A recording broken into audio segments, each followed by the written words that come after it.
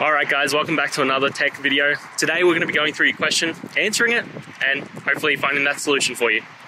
Now, don't forget to stay just a little bit crazy like me, and hopefully you'll get to that resolution. Anyway, on to the video. Cheers.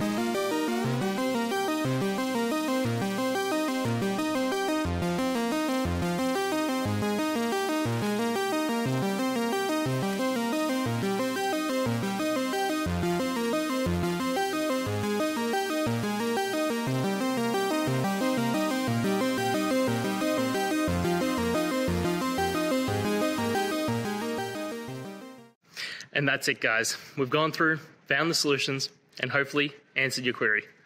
If it did, please hit subscribe. I really appreciate it.